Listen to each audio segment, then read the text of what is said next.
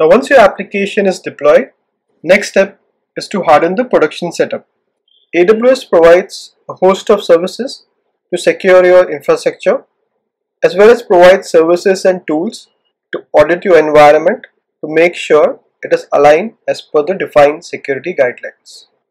For instance, you could use CloudTrail to log and continuously monitor AWS account activities across your AWS environment.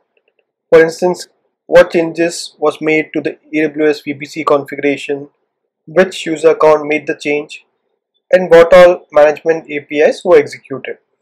Similarly, to get insights for unauthorized access or even SSH brute force attack, you can enable AWS Guard Duty in your AWS environment.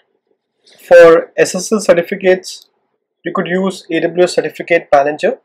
It provides free SSL certificates that can be used with the AWS load balancer.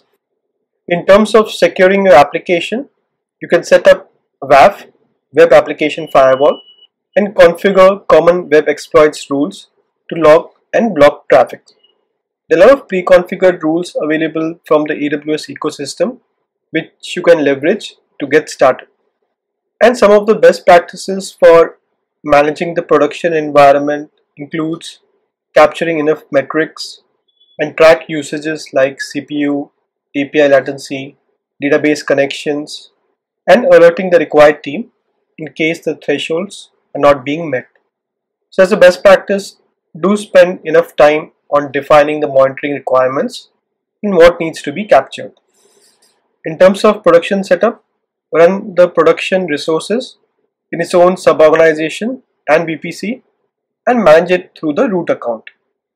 I talked about how to design AWS organization earlier and how to create root and sub-organizations based on environments. In terms of continuous monitoring, review users and roles, firewall and security configurations allocated to the production environment from time to time and check the insights from required services like AWS Guard Duty to check for unauthorized access and block the required IP address.